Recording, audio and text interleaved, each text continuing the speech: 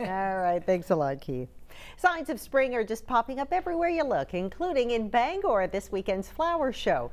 The event showcases florists, gardeners, and landscapers from all over and offers seminars for people interested in working their green thumb. Well, a couple from Plymouth travel the country going to these shows every weekend.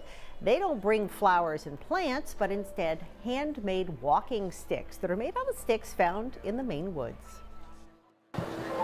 I retired back in 2001 and I wanted to do something that kept me busy and made me happy and so uh, we've been doing this for 19 years now and so it's, uh, it's just evolved over the years.